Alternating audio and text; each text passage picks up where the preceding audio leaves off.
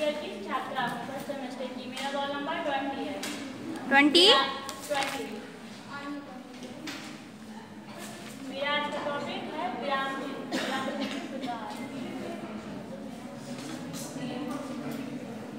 चिन्ह विराम चिन्ह का अर्थ होता है जैसे कि हम किसी चीज़ में रुकना या उसमें ठहराव जैसे बात को एवं वाक्यों को स्पष्ट करने के लिए हम जिन चिन्हों का प्रयोग करते हैं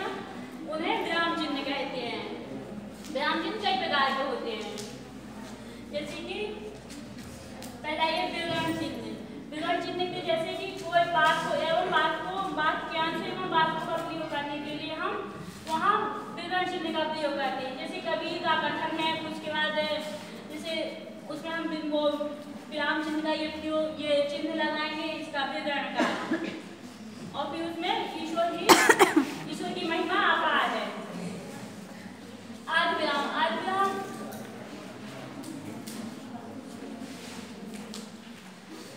आज विराम होते हैं जैसे लिखते समय जिस चीज़ में हम किसी चीज़ को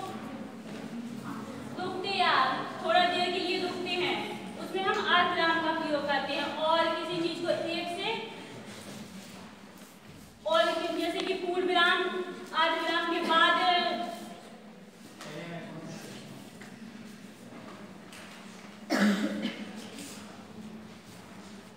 जैसे पूर्ण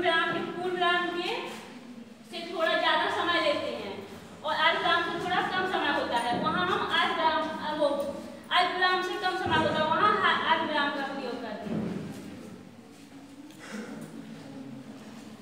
पूर्ण विराम पूर्ण विराम होते हैं जो बात वाक्य पूरा होने के बाद हम पूर्ण विराम का प्रयोग करते हैं जैसे हम जैसे कि यहाँ यहाँ हमारे देश में बहुत सारे मंदिर हैं तो ये बात तो पूरा हो गया है तो यहाँ इसके बाद हम पूर्ण विराम लगाएँगे अल्प विराम। अल्प विराम वो होते हैं जिसमें हम थोड़ी देर के लिए रुकते हैं या सांस लेते हैं, वहाँ अल्प विराम का प्रयोग करते हैं। और अल्प विराम का प्रयोग उस चीज़ के लिए जैसे एक से अधिक वस्तु के नाम या किसी के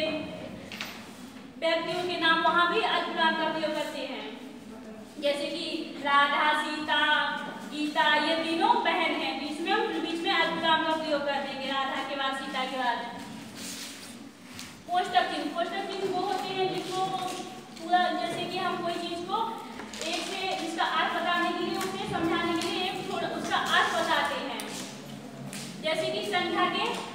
भेद, तीन भेद होते हैं। तो भेद के बीच में हम पोस्टक लगा सकते हैं, उसमें उसके प्रकार लिख सकते हैं। जैसे किसी को भेद पता नहीं है तो उसके प्रकार में लिख देंगे। और प्रश्न सूचक चिन्ह। इसके लिए इसमें जो कोई बात में प्रश्न पूछा जाता है उसके उसमें हम इसके बाद में प्रश्नवाचक का चिन्ह लगाते हैं जैसे कि तुम क्या कर रहे हो या तुम कहाँ से आए हो? तो इसके बाद हम प्रश्नवाचक का चिन्ह लगाएँगे। योजक चिन्ह। योजक चिन्ह होते हैं जिनको हम शब्दों में जोड़ों के रूप में या युग्मों के लिए लगाते हैं